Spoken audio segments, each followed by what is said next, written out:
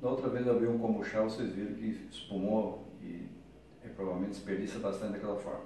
Com a experiência a gente aprende as coisas, né? Então eu vou passar para vocês uma dica de como abrir o kombucha sem fazer esse desperdício. Esse está naquela situação muito gás, né? A garrafa está totalmente lisa já. Então o macete é esse aqui, ó. você vira de cabeça para baixo a garrafa e começa a abrir. Esperando não ter a vida cacetada, né? Ó.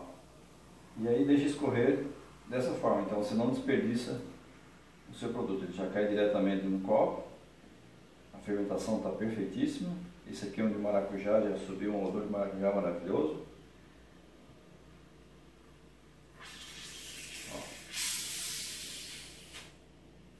Tem muito gás, ó. Chega a ser cremoso.